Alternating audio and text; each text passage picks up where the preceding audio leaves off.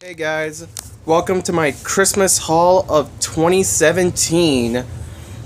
And Without further ado, let's get started with the big one.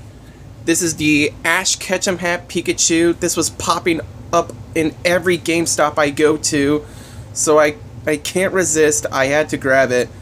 And same here with the Sailor Jupiter er, plush I got from Amazon. And, and these two Sailor Moon keychains I got from GameStop with Sailor Mars and Artemis. And next up we have Sailor Moon Season 2 Part 2 and Sailor Moon Season 3 Part er, 1 along with and then we have Rugrats Season 1 because it's Rugrats. It's, and I love the show so much. And right next to that I have the Sailor Chibi Moon Pop up from P Funko uh, I want to get every pop up in the world. And right next to it, we got the Pokemon Adventures Mangas Volume 1.